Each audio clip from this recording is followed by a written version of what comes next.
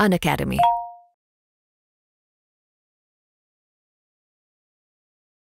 और बात करते हैं हमारे करंट एजेंडा की, कि शॉर्ट नोट्स शॉर्ट नोट्स बनाते समय सबसे पहली बात तो आपको यह समझनी है how short is the short short notes का मतलब कितना छोटा, कितना छोटे नोट्स बनाने हैं आपको एग्जैक्टली exactly कितने को आप शॉर्ट नोट्स कहोगे और कब आप उनको डिटेल्ड नोट्स कहोगे माय डियर फ्रेंड्स मुझे लगता है वंस अगेन सबकी अपनी अलग अलग स्ट्रैटेजी हो सकती है लेकिन मुझे लगता है कि एक चैप्टर मुझे लगता है दैट अगर एक चैप्टर दो ए फोर शीट से ज़्यादा में है if one chapter is occupying more than two A four sheets then those are no more short notes short notes must be such that one chapter can be revised in a matter of half an hour. One chapter can be revised in a matter of half an hour and therefore maximum two A4 sheets. Maximum two A4 sheets. Maximum. इससे ज़्यादा नहीं होना चाहिए. Maximum two A4 sheets so that you can revise it within half an hour. Half an hour में आप पूरा chapter revise कर सको.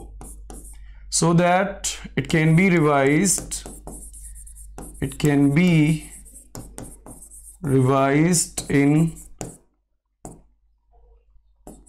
half an hour. आधे घंटे में आप पूरा चैप्टर रिवाइज कर सको।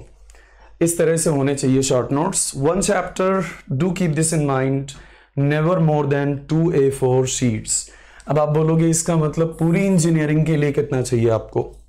सर, आप पूरी इंजीनियरिंग की बात करो अगर अगर आप यू नो मोटा मोटा देखो तो मुझे लगता है सौ चैप्टर्स मैक्सिमम आपको दिखेंगे।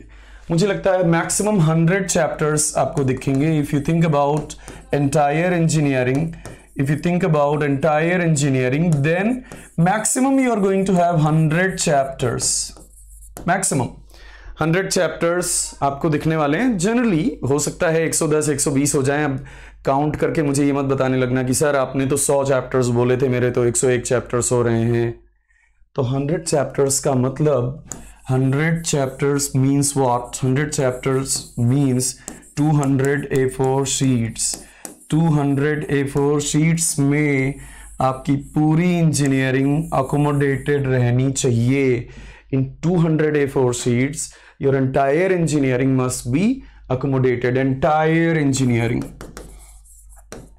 your entire engineering must be accommodated in 200 A4 sheets में पूरी इंजीनियरिंग रहनी चाहिए सो so दैट आप उठते बैठते रिवाइज कर लो सो so दैट आप ट्रेवल करते हुए रिवाइज कर लो सो so दैट आप यू you नो know, सोते सोते रिवाइज कर लो। आई I मीन mean, सोते सोते का मतलब जब आप सोने जा रहे हो तो लास्ट में पाँच दस मिनट पंद्रह मिनट भी हैं आपके पास तो एक चैप्टर तो रिवाइज कर ही सकते हो। सोते समय अगर आपके पास पंद्रह मिनट लगते हैं यूजली लोगों को नींद आने में तो सोते सोते आप सोने के जस्ट पहले आप एक एक चैप्टर रिवाइज कर सकते हो। इसलिए my dear friend short notes को जितना क्रिस्प रखोगे, उतना अच्छा। इसका मतलब ये नहीं है कि एक ही पेज में पूरा चैप्टर खत्म कर दो। क्योंकि एक ही पेज में पूरा चैप्टर खत्म करोगे तो नेचुरली आप इंफॉर्मेशन को कट करोगे। इंफॉर्मेशन कट नहीं करनी है, सारी इंफॉर्मेशन रखनी है, बस क्रिस्प रखनी है है ना? टू द पॉइंट रखना है। Okay I hope you get the point ये समझ में आया बात।